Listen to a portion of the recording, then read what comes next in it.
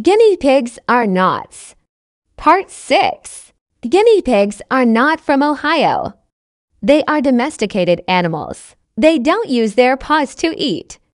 They use their mouth to carry their veggies. Guinea pigs are not smarter than a fifth grader. They've helped scientists to win Nobel Prize. They don't get lost easily. Guinea pigs can remember their way back to their cage.